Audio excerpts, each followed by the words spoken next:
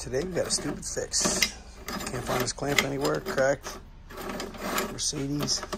So we're gonna weld it together. All welded up. Now we all welded up. Now we just gotta do some grinding on the inside.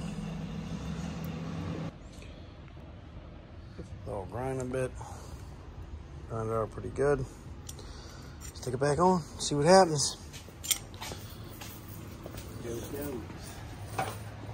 Basically going on that bad boy.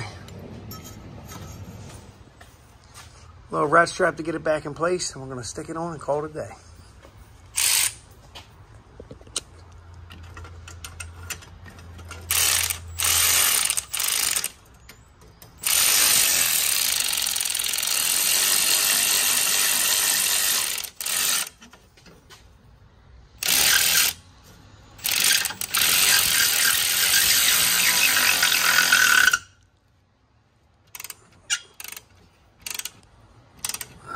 Hopefully it don't snap on us.